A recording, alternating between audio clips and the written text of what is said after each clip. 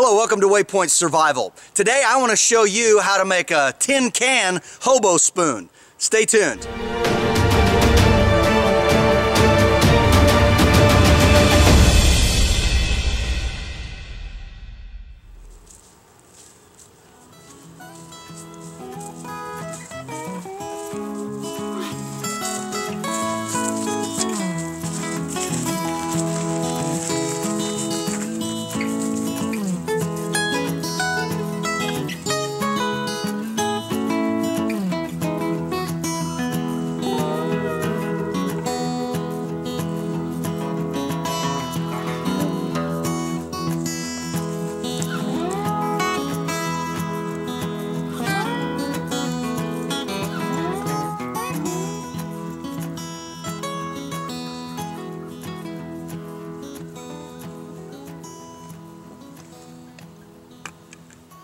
In the not too distant future, if you should find yourself in a survival situation, or you're just out practicing your bushcraft and survival skills, and you happen to go into the woods without a spoon, uh, and I consider a spoon to be probably the most important eating utensil you can bring with you into the outdoors.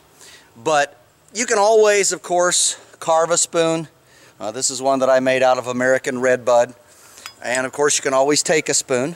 Uh, this is an antique spoon. It has been used to stir so much that the one side is worn down tremendously. So this is probably Civil War era or right thereafter. But anyway, as, uh, as you think about being out in the woods and you're getting ready to eat a meal, I, like many of you, do bring canned food occasionally into the outdoors. And sometimes I find that I've forgotten something. Now normally I always pack a spoon. That's one of my essential items that I always bring with me. But should you ever find yourself in a survival situation and you've got some canned food, especially if you've got cans with pop tops, so similar to this can here, everybody knows what a pop top is. Uh, this is a, a can of potted meat. I know it's not the best food for you, but I've been eating these ever since I was a kid just occasionally don't eat them very often. But when I was a teenager, I came up with a way to eat this without a spoon. And so I want to show you how this is done. All right, so we've got our can of, of potted meat, our pop top. Now what we want to do, of course, is open it up like you would normally and pull the top. Now most people at this point would just throw this away. But I'm going to show you how to use this and a better way to make a, a spoon or a scoop out of it perhaps. So I'm going to clean this off and uh, the best way that I know how out in the field by using the uh, old-fashioned dishwashing method that a lot of bushcrafters are familiar with.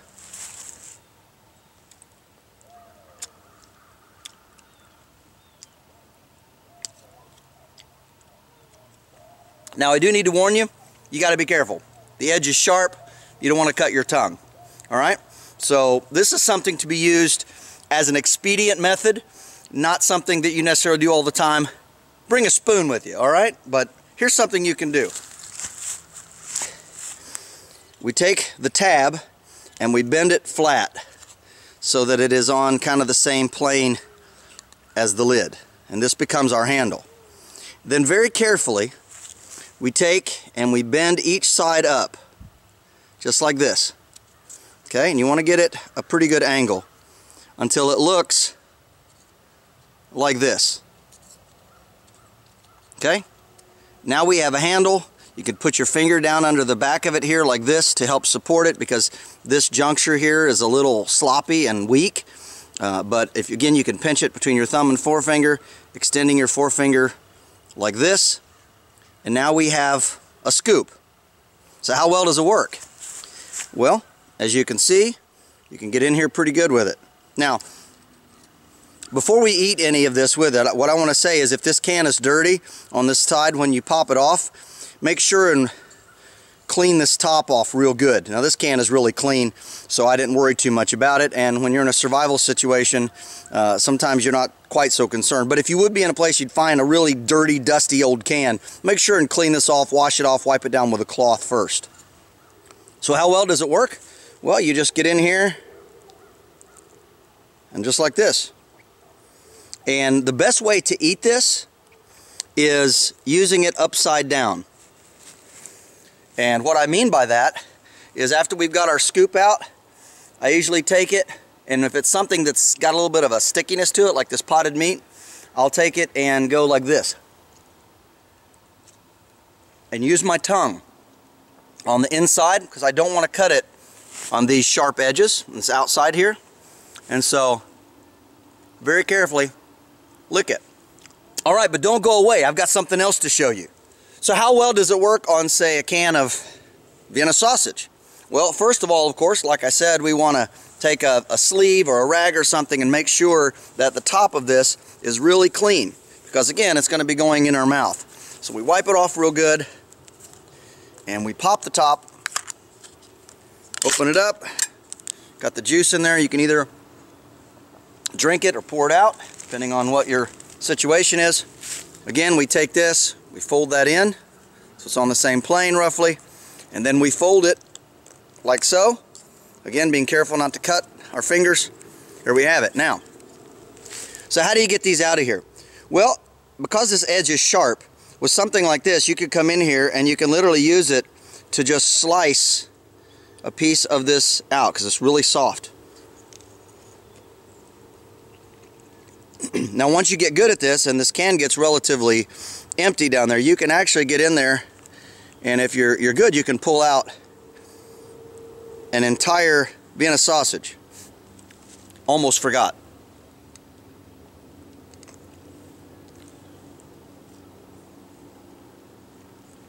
But wait there's more. So what if we have a can of something that's soupier uh, now the meat is fine because obviously it's it's clingy, it's a little dense, it can scoop out easy, and that works well.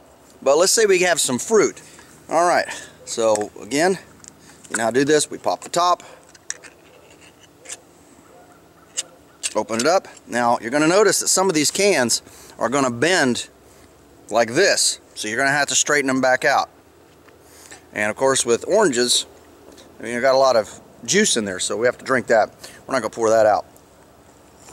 Okay, so very carefully, again, we want to make sure that this is on the same plane, and then we have to very, very gently fold this back up.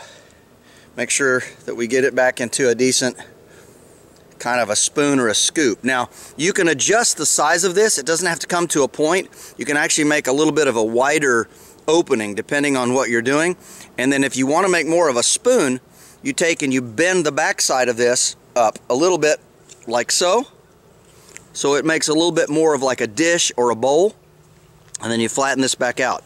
And so we have this kind of an affair and that will actually hold a decent amount, a little bit of juice.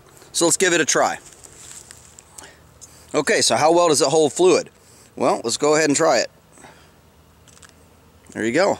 I don't know if you can see, but it's, uh, it's actually holding it quite well. So you could use this for a soup.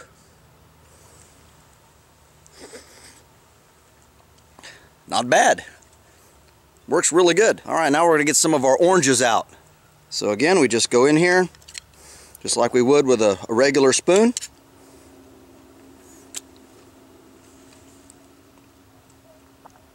If you never tried this method, I would encourage you to give it a shot. Uh, this is a really great field expedient way to make a spoon or a scoop uh, to get your food out in case you forget to bring a spoon with you. And by the way, it's a pretty good sized spoon. It'll hold probably a lot more than you can put in your mouth. Or it'll hold probably a lot more than you should put in your mouth at one time. this is James Bender for Waypoint Survival. If you like this video, give it a thumbs up. Also, make sure and check out the links in the description box below. And if you haven't done so already, please subscribe to the channel. We'd really appreciate it. And when you do subscribe, make sure to press that bell button so that you can stay notified of all of our upcoming videos, and we'll talk to you next time.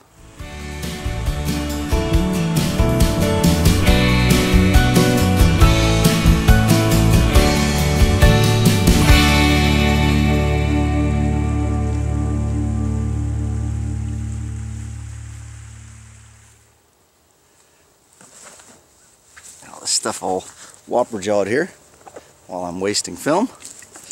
All right. So in the not too distant future, if you should find yourself in a survival situation, so we're just about done, and I want to show you something. Because of the the angle of the bend here and the point, you can, excuse me. All right, so we're just about done with this, and I want to show you one last tip. Because of the angle and point of this, and if the can isn't too deep, this is a pretty shallow little can, you can actually get right down inside right in the corner just like this and you can scrape out the remainder pretty effectively. You can get most of the can pretty clean. Goes right into the point